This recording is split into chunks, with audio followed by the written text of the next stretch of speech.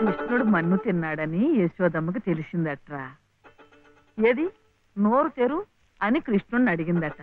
అప్పుడు కృష్ణయ్య అమ్మా మన్ను తినంగనే శిశువునో ఆ కుంటినో వెర్రినో. నిద్రపోతున్నావేమిట్రా? ఊకొట్టడం లేదు. ఏమిట్రా? చలపతి గారు లలితమ్మ దగ్గర ఒక పాట పాడాను. అది విని ఆమె ఏడుస్తూ వెళ్ళిపోయిందేమిటే ఏం పాట పాడావురా? సీతమ్మ మరి వనవాసం లేదు. మరి ఇంకేం? సీతమ్మ వారి కథ అంటేనే కష్టాల తోరణం ఎంతటి ఆదిలక్ష్మి అయినా ఆడజన్మ ఎత్తేసరికి అగచాట్లు తప్పలేదు. ఏ కష్టాలు ఆమె గుండెల్ని తాకాయో తన బాధల్ని గుర్తుకు తెచ్చాయో పిచ్చి తల్లి. ఏడుస్తూ వెళ్ళిపోయి ఉంటుంది. అంటే ఆవిడ చాలా కష్టంలో ఉందా నానమ్మ? కష్టాలు కాక మరేమిట్రా? చిన్నతనంలోనే భర్త పోయాడు. అత్త మామల ఆదరించలేదు. గతి లేక అన్న పంచం చేర్చి ఆ వదిన తాటకిలా కాల్చుకు తింటుంది. ఏమిటో? చస్తే గాని రాబందులు ముట్టం. కానీ ఈ బంధువులు ఉన్నారే కాస్త పరిస్థితి చేయి జారితే బతికొండగానే పీక్కు తింటారు. అంటే ఆవిడ అలా కష్టాలు పడాల్సిందేనా? అందుకే ఏదైనా దారి చూపించమని ఆ భగవంతుడిని వేడుకోమన్నాను. ఆ గుడి ప్రాంగణం తుడుచు ఆ మెట్లు కడిగు ఇంత సేవ చేసుకుంటే మంచి జరుగుతుందని చెప్పాను. చదువుకున్న పిల్లలు మనకున్న నమ్మకాలు వాళ్ళకు ఉంటాయా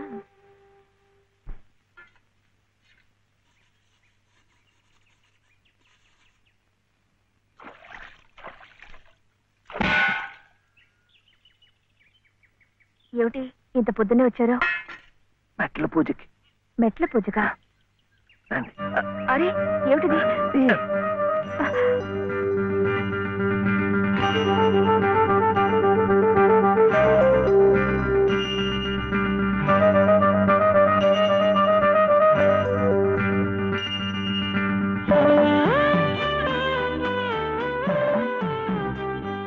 ఇంకాస్త మెట్లే.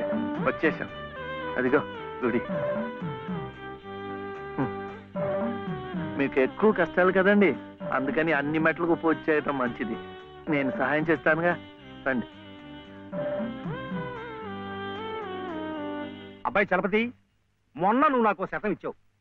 వంద. నా బొంద. అది ప్లేడర్ గుమాస్తా పంటి కింద కూడా రాలేదు. ఇప్పుడు మరో పంచ శతం కావాలి.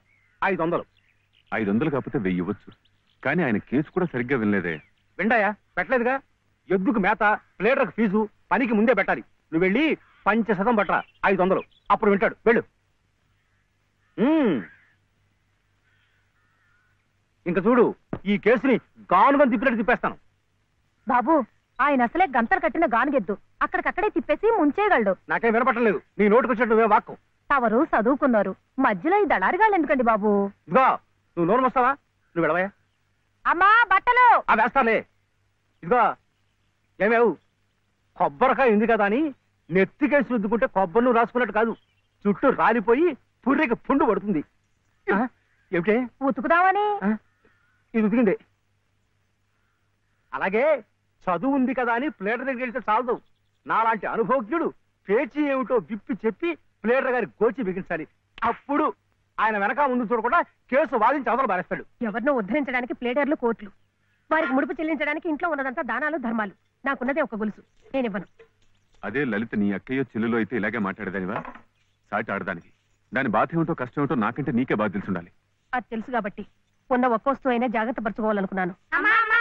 పొద్దున్నే అన్నంగానే ఉన్నారంటే చంపుతాను. పొండి బయటికి. ఈ గొలుసైనా నా మెళ్ళ మీరు దిగేసిందేం కాదు. మా పుట్టింటి వాళ్ళు పెట్టింది. కనీసం ఇదైనా నా పిల్లలకు దక్కనివ్వండి. అలాగే. నీ కన్న తండ్రి పెట్టినగా నీ కన్న బిడ్డలకే ఉంచుకో. నీ కట్టిన తాళ్ళు నాకు. అలాగే ఇస్తాను. ఈ మెళ్ళ ఓ తాడు ముడేయండి. పసుపు తాడు కాదు ఉరితాడు ఆ తర్వాత నా పిల్లలు దిక్కులేని అనాథలు అవుతారు. అప్పుడు మీ ఇష్టం వచ్చినట్టు మీరు చేసుకోవచ్చు. అడిగే వాళ్ళు ఉండరు. కనపడడం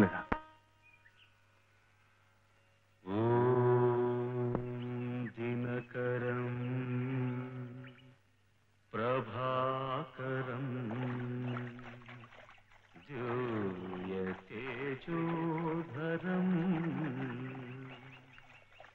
सकलजगदाधारम् अखिलम् शश्वत्शुभकरम् दिनकरम्।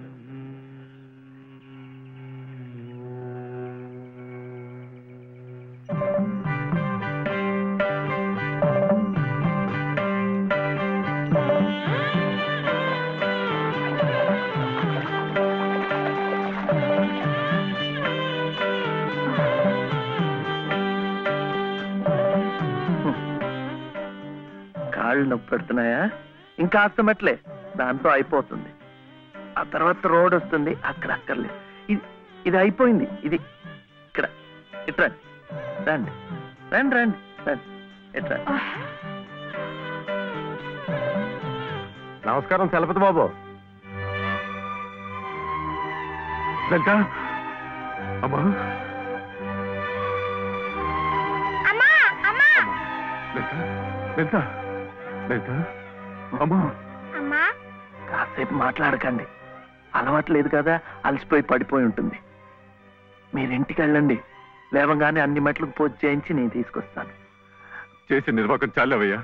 చిన్నప్పటి నుంచి అన్ని దేవుళ్ళని ఈ పసుపు కుంకుమలతోనే కొలిచిందే. ఏ దేవుడు దాన్ని పసుపు కుంకుమ నిలిపాడయ్యా? చాలు చాలే. అమ్మా లలిత. అమ్మా. దా.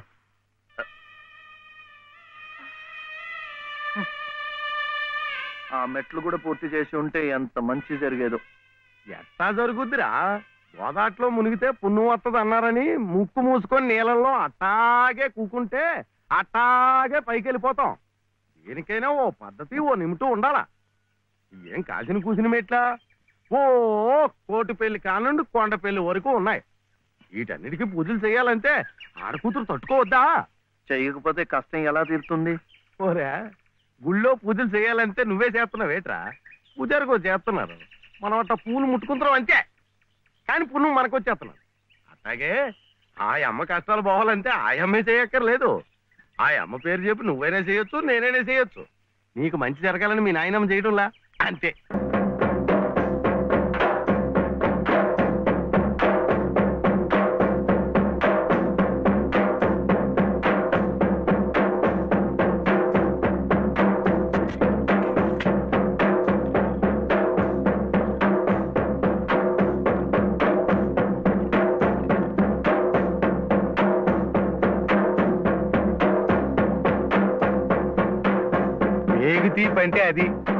కొడుకు జబ్బు తగ్గాలని ఆ తండ్రి పడే అవస్థ చూడు.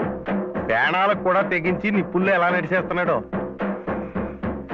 పొద్దున్నే నువ్వు చెప్పింది అదేనమాట ఒకళ్ళు కష్టాలు తీరాలంటే ఇంకొకళ్ళు మొక్కోవచ్చని ఒరే ఒరే నువ్వెక్కడికి రా? అమ్మా శివయ్య ఎందుకు నీ చేత ఆ మెట్లని ఇక్కడ ఇచ్చాడు మన మంచి కోసం.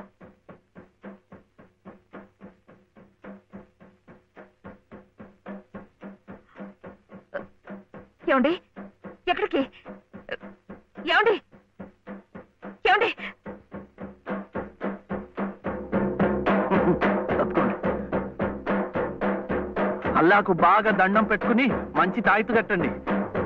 సుబానల్లా సుబానల్లా లా ఇలాహా ఇల్లల్లాహు ముహమ్మద్ రసూలుల్లాహ్. సుబానల్లా సుబానల్లా సుబానల్లా సుబానల్లా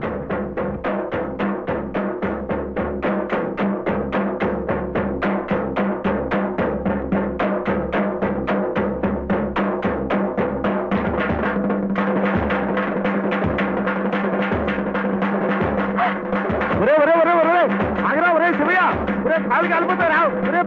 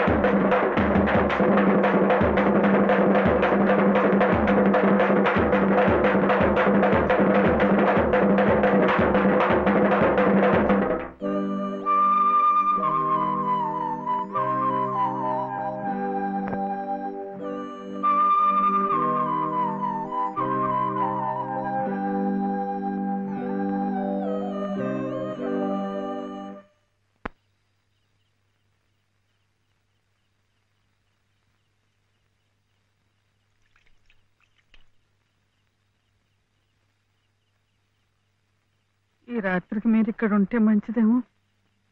శివయ్య? ఒరే శివుడు. చూడు మీ నాయనమ్మ కంగారు పడుతోందిరా. చూడు. నాన్న శివ ఎలా ఉందిరా?